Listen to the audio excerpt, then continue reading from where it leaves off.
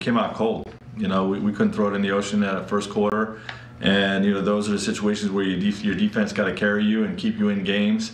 Uh, and give you a chance to, uh, for, to, you know, for that offense to come back around, and um, you know, that's what we challenge our guys to do uh, throughout the first half. And um, you know, really at halftime, we made some some adjustments defensively, uh, you know, to, to slow them down a little bit, and, and really had a great defensive second half.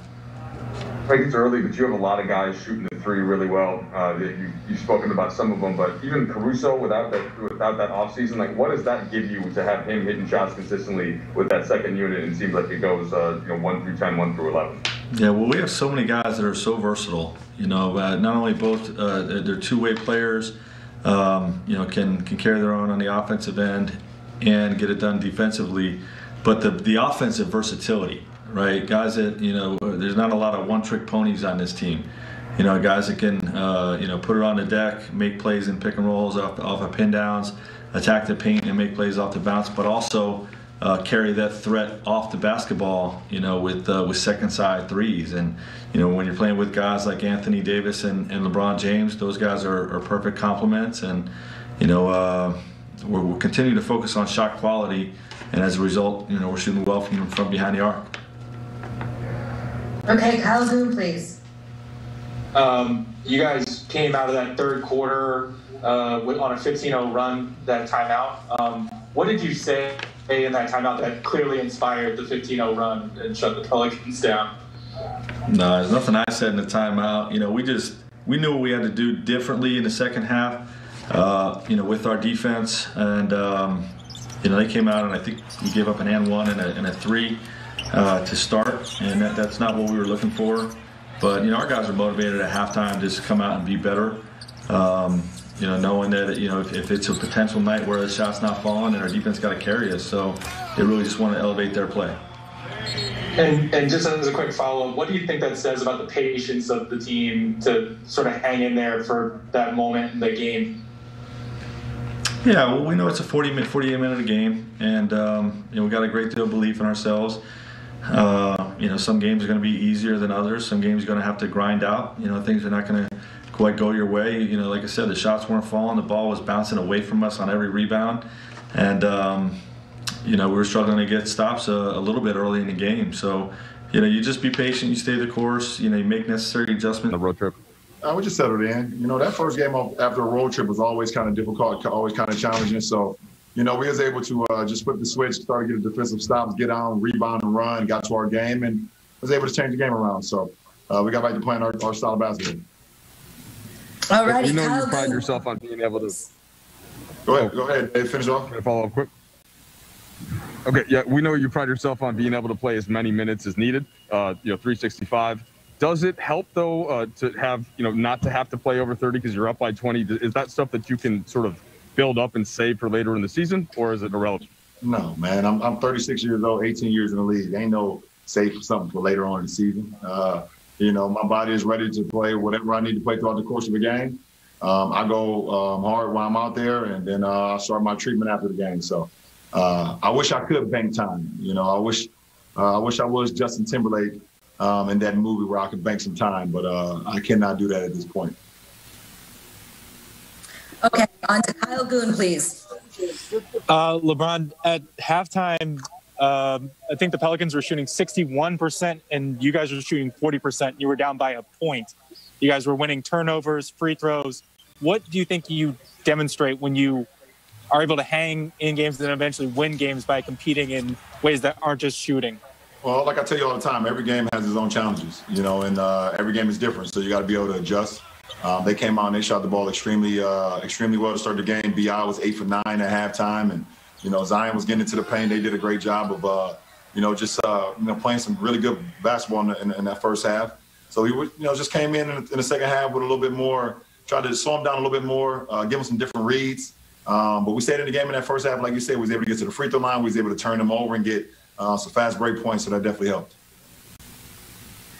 Okay, Dan Wojcicki, please. Hey, LeBron, what's your favorite part about where this team is at 14 games? What, what do you like most, what you're seeing? Um, that we continue to, to get better. Uh, I feel like we've gotten better every game. Um, you know, we continue to learn each other. And I told you guys that our, our film sessions, you know, um, and our and our games are kind going to be like you know practices as well because we're we're close, uh, you know, a new group you know, for the most part. You know, we got five uh, five guys that's been in the rotation this year that you know was not in the rotation last year, and, and Dennis Dominguez, Wes, uh, Mark Trez, and, and Taylor. So uh, we continue to, uh, you know, the more minutes we get, the more games we get, the more uh, you know opportunities we get on the floor, um, and then the film session just helps our helps our growth. Okay, Bill Oram. Hey, LeBron, uh, could you talk us through the putback dunk after the the Kuz miss, and then as as a secondary question, you know, you are 36. At some point, you're supposed to stop doing things like that. Is is, is there anything physically that you feel like you can't do that you could have done 10 years ago? Um, yeah, but I wouldn't tell you that. Um, um, you know, but I continue to put myself in, in the best condition I can be in. Um, you know, I train my body and I train my mind every single day. Um, you know, I come in into the and you know into the arenas or, or the facility and, and I get in a lot of extra work. Um, you know, uh, preparing my body, preparing my mind, and uh, you know, hopefully I can continue to, to do what I'm you know doing right now at 36 um, and see what happens. Um, but I tell you, I don't think that I can go to 46. Um, you know, we can go from 26 to 36, but um, I don't think I don't think I can go to 46. Um, and I also don't think my wife would like that. Pretty much, uh, she wouldn't like that either. Okay, Dave McMenamin. Another one. LeBron, this is the uh, I think the second highest three point percentage of your career thus far. I mean, we're only 14 games in or whatever. You made a couple tonight. You go perfect from the free throw line. Earlier in the week, Frank Vogel said you're the best shooter on the team. There is a guy on the team tonight who moved up the top 10 list of all time three pointers for the Lakers and KCP. Are you the best shooter on the team? Have you ever been the best shooter on a team before? And uh, where does KCP rank in that uh, conversation?